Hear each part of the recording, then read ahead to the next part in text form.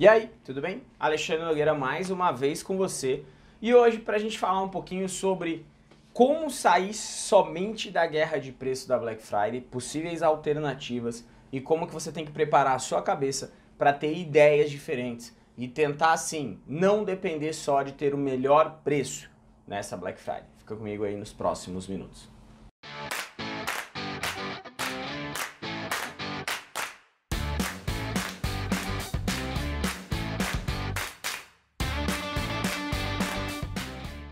Bom, antes de mais nada, né, antes da gente começar a falar de algumas opções, eu quero te dar dois recados. O primeiro é se você não está inscrito no nosso canal ou não está seguindo o nosso Instagram, já ativa aí, começa a seguir o nosso Instagram e também se inscreve aqui no canal, ativando o botão inscrever-se no YouTube. E o segundo recado que é muito importante é que um pouco do que eu vou te falar agora é o que a gente tem falado e o que a gente tem buscado com os eventos que nós estamos organizando juntos aos marketplaces. Então nós temos eventos já, já aconteceu o evento com o Mercado Livre, tem evento que vai acontecer agora com o Magazine Luiza, acontece com a Amazon, acontecerá com a B2W, terá o evento da Trey, que é onde nós temos tentado puxar ideias para que você possa fazer uma Black Friday diferente, mas também ter ideias diferentes para essa Black Friday, tá certo? Então os links estão todos aqui embaixo e se você estiver assistindo no Instagram, corre lá no, no, meu feed, eu fiz um destaque eventos, porque muitos deles você acompanha da sua casa,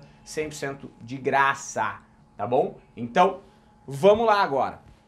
Que a Black Friday é preço e que é muito importante a gente ter um bom preço na Black Friday, isso é claro, nítido, notório, porque muitas pessoas guardam o dinheiro para gastar naquele momento. E aí a gente está disputando uma atenção. Mesmo que eu não tenha muitos concorrentes fazendo loucura às vezes no meu produto, eu tenho que ganhar né, desta pessoa que está com o dinheiro do comprador a atenção e o motivo para que ele compre de mim naquele momento.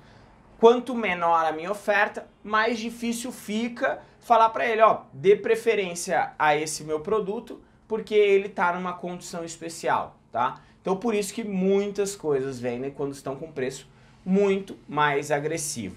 Só que dentro da estratégia e dentro do, do, do quanto você conhece a sua audiência, você consegue encontrar alternativas para fugir um pouco disso. O Google tem trazido em, campanha, é, em campanhas, não, desculpa, em dados, né, que muitas pessoas já estão olhando para a confiança do canal, já estão olhando é, realmente para confiar no canal que eles estão comprando, deixando de ser só preço. Então, quando a gente vende em marketplace, quando a gente vende em vários marketplaces, a gente tem um superpoder, tá? No meu ver, a gente ganha autoridade para falar por eles, certo? Porque você entrou, comprou de mim no Mercado Livre, então se eu te impactar de novo por dentro do Mercado Livre, se eu te impactar de novo com uma oferta similar ou trazendo a confiança que você tem naquele canal, eu consigo aproveitar. Então esse é o primeiro ponto, tá certo? Você tem listas de clientes para cada canal que você vende. Então, separe esses clientes para que você possa apresentar para eles como o marketplace fazendo aquela oferta, sendo muito mais interessante para que ele compre de você. E automaticamente quebrando e cortando um caminho, porque você vai impactar ele diretamente, seja no WhatsApp, vou até deixar uma ferramenta legal aqui embaixo que chama WhatsMaker, tá certo? Que é um automatizador de WhatsApp, você consegue fazer isso. Ou pelas mensagens que o canal permite, ou por um SMS, da forma que for, tá certo? Então você consegue furar esse caminho, ou criando um público, né, no Facebook e anunciando para esse público de forma similar, né, de acordo com, com a lista de telefones que você tem. Nós temos vários dados que são importantes, porque nós não precisamos ter as melhores ofertas, primeiro ponto para todo mundo dentro do Brasil. Você não concorda comigo que se você vende bem para uma região, se você tiver, se ela já é a região que mais compra de você, se você tiver boas ofertas para aquela região, se torna interessante ofertar algo para esse pessoal, você precisa lutar para ter uma boa oferta para aquela região específica que já é a que compra mais de você? Esse é um outro ponto. Se você tem listas de clientes, falando até de agora vou usar um pouquinho de exemplos de vários marketplaces. Se a gente sabe que o pessoal do Magalu usa muito aplicativo, ou quem não usa, vai usar, eu não consigo fazer um gancho e aproveitar a condição que eles estão colocando de frete grátis acima de 99 reais, que foi uma das vantagens que eu falei no vídeo do Magazine Luiza.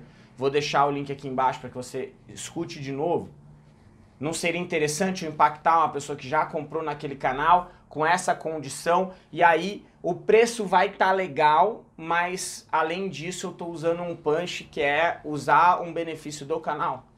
Quando a gente olha para B2W, não faria sentido eu impactar pessoas que têm Prime, pessoas que usam muito cashback. Então eu separo clientes que fazem esse tipo de, de, de compra e que usam desse tipo de benefício e impacto eles com esse benefício, porque esse benefício é um decisor de compra, às vezes até maior do que o preço. Então eu vou saindo um pouquinho daquele, daquela condição. Ou até mesmo eu encontro clientes que compraram numa condição é, sempre buscando frete grátis, no caso do Mercado Livre, ou compraram da sua oferta do full, buscaram alguma solução diferente ali que você consiga puxar um diferencial e reaplicar esse diferencial para essa lista de clientes. Então você tem uma lição de casa, que é pegar a tua lista aí dos clientes que compraram os produtos similares, porque eu já estou falando com você de objetivo, a gente já está falando de produtos, já faz um certo tempo. Então eu vou partir do ponto de que você já entendeu que você não vai fazer Black Friday em todos os seus produtos e que os seus produtos têm que ser segmentados para cada canal, o que você vai fazer com cada um dos produtos, porque uma oferta funciona melhor em um canal, melhor em outro canal, melhor em outro canal, para que você tenha clareza de como você vai usar efetivamente isso agora na Black. Então o próximo ponto que a gente está falando é realmente de segmentar esses caras para que você possa separar. Falei isso no evento que a gente fez quarta-feira passada do Mercado Livre, que também está disponível, que eu também vou deixar o URL aqui embaixo para você poder assistir, que foram só sobre coisas para fazer no Mercado Livre. Mas o conceito de ter uma segmentação, ela é importante, porque você segmenta e você consegue ter boas ofertas para as pessoas corretas. A gente não precisa ter boas ofertas para o Brasil inteiro comprar. Eu preciso ter boas ofertas para quem compra de mim, comprar de mim de novo, certo? Alinhado ao seu objetivo, tá? Então esse é mais um ponto aí para você sair da casinha e parar com essa dúvida, com essa disputa apenas de preço. E no meu ver, quem vai conseguir fazer uma Black Friday com uma lucratividade maior, quem vai conseguir fazer uma Black Friday é realmente executar uma boa Black Friday é quem vai se preocupar em fazer a sua Black Friday e não fazer uma Black Friday dependente das ações dos canais, certo? Por quê? E aqui eu não estou falando de vender em canais próprios ou vender para o Instagram ou vender por... Não, não. Estou falando sim de você conseguir fazer boas ações para os canais que você vende e você, você ser o responsável pelo disparo, pela ativação daquelas ações junto com os clientes. E aí você fala, pô, Ale, mas qual o benefício? Se eu vou fazer o trabalho aqui, eu tô lá segmentando, eu tô fazendo, eu tô tendo todo o trabalho para mandar uma ação para o meu cliente, sendo que eu já pago um percentual. O que você está fazendo é emprestando o nome desse canal, a confiança que esse cliente tem nesse canal e você está trazendo para si. Só que você está fazendo algo diferente do que muitos dos seus concorrentes que só vão esperar o movimento cair ou a chuva cair para que eles possam aproveitar aquilo e você vai estar tá cortando um caminho, tá? Então, esse é um ponto. Antecipar Black Friday é interessante? Eu faria uma antecipação mais no sentido de oferta e de interesse para que você segmente ainda mais. Então você tem lá uma lista inicial de, de mil clientes, sim, tipo 500 clientes, 50 clientes que sejam.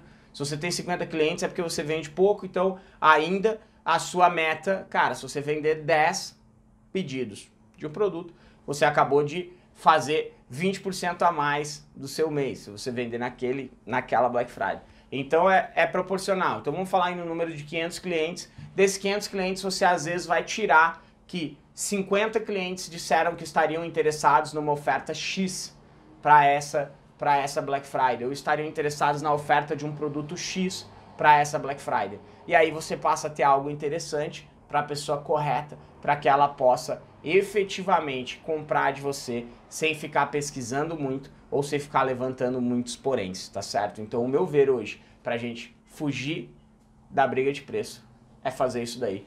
Conta pra mim o que, que você tem feito. Um grande abraço e valeu!